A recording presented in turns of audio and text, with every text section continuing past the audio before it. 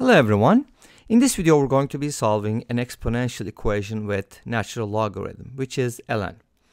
We have 10 to the power 1 plus ln x equals x and we're going to be solving for x values. I'll be presenting three methods and let's start with the first one.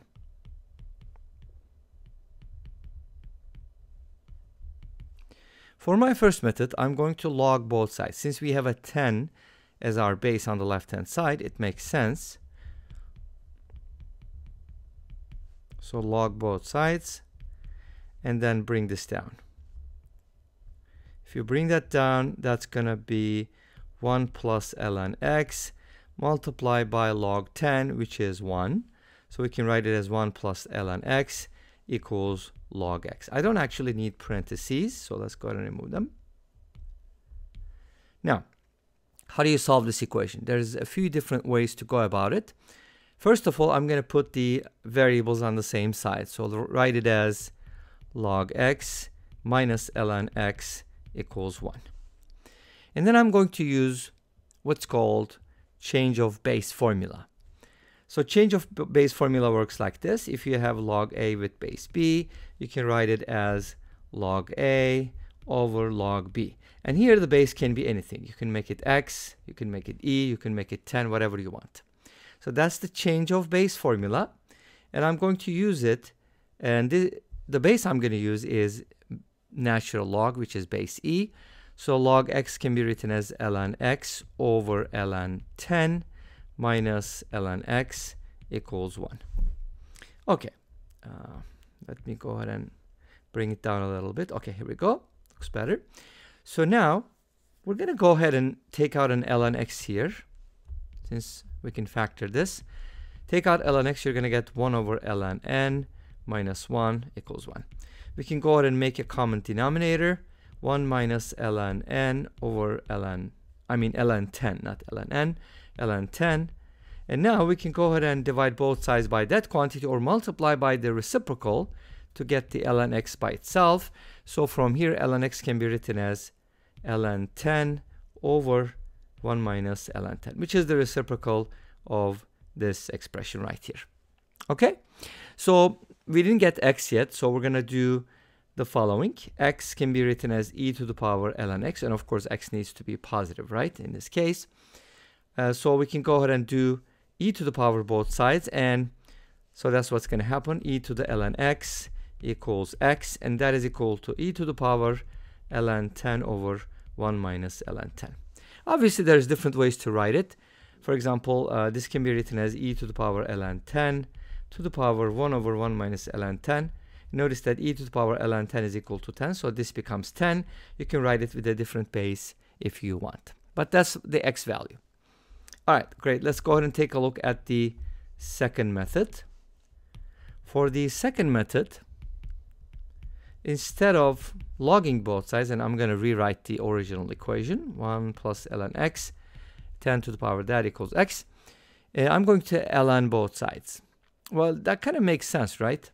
Because uh, we have ln x in the exponent, so they both make sense. So let's go ahead and do it. And then like before, bring this down. But this time, ln 10 is not going to be 1 because uh, they're different numbers. This is base e, and that's 10. So that's decimal. So now we can write this as 1 plus ln x times ln 10 equals ln x. But notice that ln x can be distributed so we get ln x times ln 10 equals ln x. And we can put uh, the terms that contain ln x on the same side and kind of factor out. And this is what we get. And from here we arrive at the same result. It's just a little different path, but we end up with the same thing. And then if you do e to the power both sides, of course this is going to be the same as before. e to the power ln 10 over 1 minus ln 10. And again, like before, you can write it as e to the power ln 10 to the power 1 over 1 minus ln 10. And this can be written as e to the power ln 10 is 10, 10 to the power 1 over 1 minus ln 10. Okay, so there's different ways to write it, obviously. Uh, so you can do it in different ways. Depends on what base you want to use. And when we do our third method, you're going to realize that actually we're getting the answer in a slightly different way, but they're all equivalent. Okay, so let's go ahead and take a look at the third method now. So the third method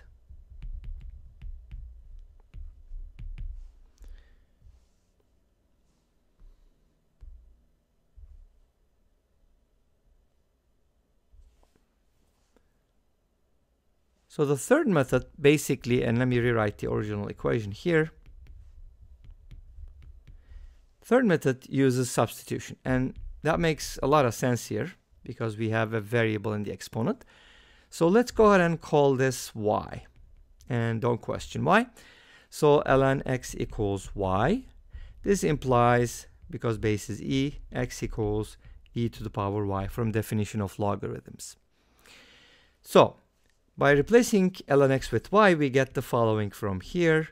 10 to the power 1 plus y equals x, which can be written as e to the power y. So in other words, uh, we get rid of the logarithm and we, this kind of turns into a purely exponential equation.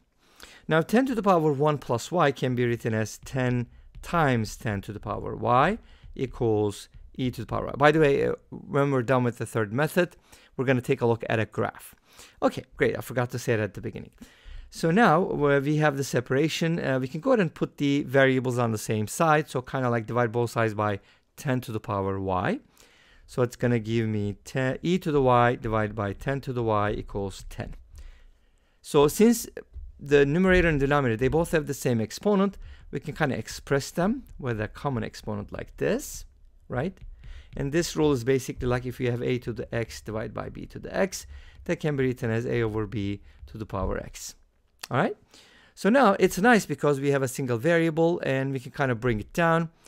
You can do lots of different things. You can log both sides since the uh, we have a 10 on the right hand side. It kind of makes sense. Log e over 10 to the power y equals log 10, which is 1. And now you can go ahead and bring the y down and y times log e over 10 equals 1. And since we're trying to solve for, you know, uh, y, we can just go ahead and divide both sides by that quantity. But let's go ahead and simplify it. First, using the property of expanding um, the log of a quotient, we can write this as log e minus log 10. But remember, log 10 is 1, so we can write it as y times log e minus 1. So now divide both sides by that, and you get y equals 1 over log e minus 1. But remember, y is y is ln x, right? So we're going to set this equal to ln x, and we're going to do e to the power both sides. So since ln x is that, x is going to be e to the power 1 over log e minus 1. Now, we had a different results before, right? Remember?